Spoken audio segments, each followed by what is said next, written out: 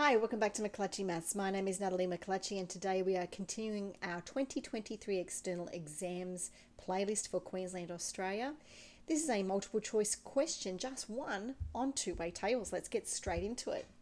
So, firstly, it was question four, and it says athletes were surveyed about their preferred shoe brand, X, Y, or Z, and the results are shown in the frequency table.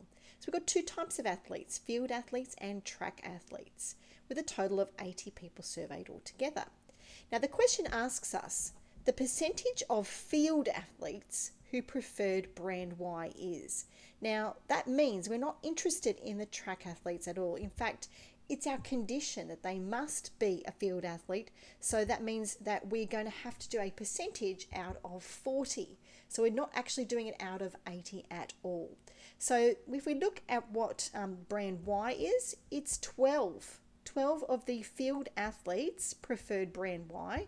So it'll be 12 out of 40. So on your calculator, there are fraction buttons, but you can simply do 12 divided by, that's what this symbol, the vinculum, means on a fraction, divided by 12 divided by 40, times it by 100, and that will give you 30%, which means our answer is C. And that was the only question on two-way tables on the paper. Well, if you found this video helpful, here's four ways that you can engage with us further. Like and subscribe, hit that notifications bell so you know when the next video is ready to watch.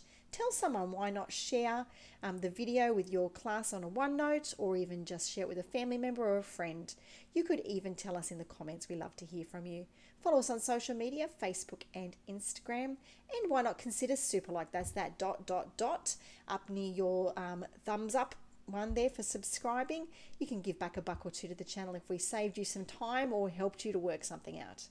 If you've got any questions at all, mcclatchymaths at yahoo.com is the place to reach us. Don't forget to jump onto our partner's website, exam-insights.com. This is your one-stop shop for all of the 2023 and previous year's exams and exam solutions. It's a wonderful free resource for students and teachers. Well, thank you so much for watching today. I'm Natalie McClatchey. Have an amazing day.